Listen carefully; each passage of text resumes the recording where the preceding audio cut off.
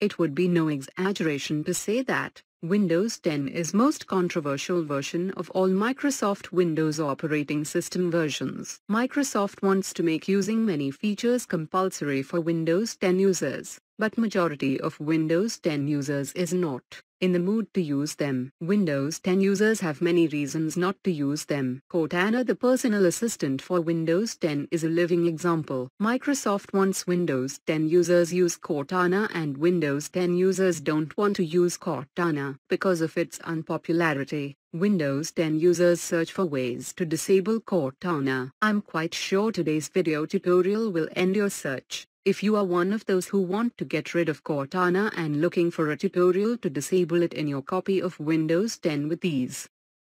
Before you watch rest part of tutorial on the deactivation process of Cortana, I would like to let you know that I've decided to split this tutorial into two parts. Actually, there are two reasons for splitting today's tutorial into two parts. First, people get bored if the video is longer. The second reason is that disabling Cortana in Windows 10 Enterprise and Professional editions is pretty easy to do via Group Policy Editor. But you will have to dig deep into the Registry Editor to do so in the Windows 10 Home edition, as the Group Policy Editor is missing in Windows 10 Home.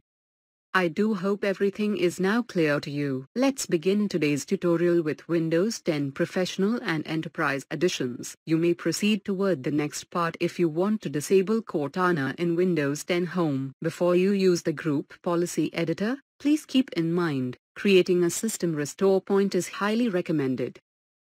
Open Start menu and type gpedit.msc into search box. Click gpedit.msc from search results. Here you need to navigate to Computer Configuration. Administrative Templates. Windows Components.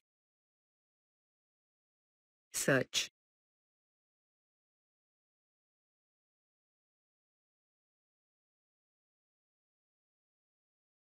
In the right pane, you need to locate the Allow Cortana settings. Click on Allow Cortana and then click Policy Setting. To disable Cortana, set Disabled option and click OK to save settings. Now you need to reboot your computer for this change to take effect. Alternatively you can sign out and sign back in if you don't want to reboot your PC.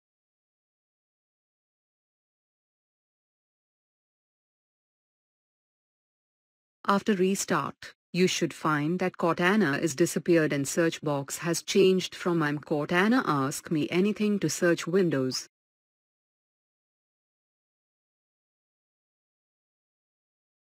Hope Windows 10 Professional and Enterprise users have managed to disable Cortana by following today's tutorial. Although, I've tried my best to explain everything well. Please do let me know if I could not explain anything properly using the comment section. I will be trying to solve your problem.